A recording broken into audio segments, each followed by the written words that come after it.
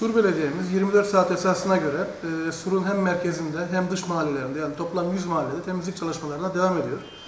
E, geldiğimiz günden beri vatandaşın temiz bir çevreden faydalanma hakkını göz önünde bulundurarak e, temizliği aksatmadan yürütüyoruz. Bunun yanında e, Yenişehir, Bağlar ve Kayapınar Bel- belediyeleri tarafından malumunuz Diyarbakır'da 3-4 gündür çöpler toplanmıyor. Biz elimizdeki kısıtlı imkanlarla Yenişehir Belediyesi'nin e, sorumluluk alanına giren ve Diyarbakır'ın merkezi Gözbebeği durumunda bulunan Ofis Caddesi, Gevran, Ali Emiri Caddesi, Ekinciler Caddesi, işte Rızvan Ağa Caddesi, Elazığ Bulvarı'nın bu adliye ve büyükşehirin önüne düşen kısımları ve Sanat Sokağı civarında da dün geceden itibaren sabaha kadar temizlik çalışmasını yürüttük. Ee, Diyarbakır halkının daha temiz bir çevrede yaşaması adına e, çalışmalarımızı kesintisiz olarak sürdürüyoruz.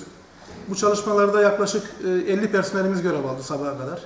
E, 10 tane damperli kamyon, 4 kepçe ve 8 tane e, sıkıştırmalı çöp kamyonumuzla birlikte faaliyetlerimizi sabaha kadar sürdürdük. Ben fedakar bir şekilde 24 saat esasına göre çalışan işçilerimize teşekkür ediyorum. Bunlar tabii mümkün olmayan şeyler. Bu e, her zamanki terör örgütüne dayalı güçlerin yapmış olduğu kara propagandanın eseri.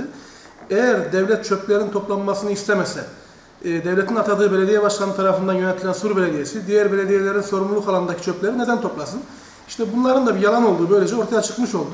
Tam tersi, biz e, Türkiye Cumhuriyeti Devleti olarak bütün vatandaşlarımızı eşit görüyoruz ve temiz bir çevreden yararlanma haklarını elde etmeleri adına fedakar bir şekilde çalışıyoruz.